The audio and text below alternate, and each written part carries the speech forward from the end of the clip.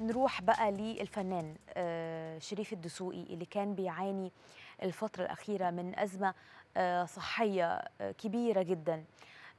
شكر الشركة المتحدة على متابعة حالته الصحية أولا بأول طبعا ضمن توجيهات القيادة السياسية وأكد أنه بيستمد قوته من مظاهرة الحب اللي بتحصره بعد إجراء عملية بطر بطر قدمه وجه دسوقي الشكر لكل من اهتموا بحالته الصحية وقال أنه هو مش عارف يشكر إزاي القيادة السياسية الرئيس عبد الفتاح السيسي أو حتى السادة الوزراء اللي وقفوا معاه وكان في متابعة كمان لحالته والدكتور كمان أشرف زكي نقيب المهن التمثيلية.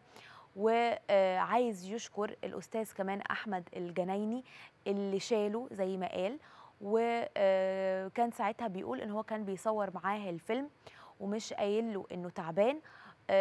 ما سابوش لحظة انتقل من مستشفى لمستشفى ورا منه يعني كان بيتابع حالته. وكمان الشركة المتحدة ما سابتهوش ولا لحظة. وهم اللي تولوا كل حاجة وبيحمد ربنا إنه في مصر يعني الطب أصبح متقدم آه وإنه حالته الصحية الحمد لله أصبحت أفضل بفضل الرعاية الصحية اللي تلقاها في مصر وبفضل طبعا دعم الناس دعم الجمهور دعم الشركة المتحدة وأولهم طبعا القيادة السياسية اللي وجهت بيه إنه يكون في اهتمام كبير جدا لحالته. شريف الدسوقي فنان موهوب جدا فنان متميز جدا وقدم أعمال قدر إن هو يرسم الابتسامة على وجوهنا من خلال هذه الأعمال.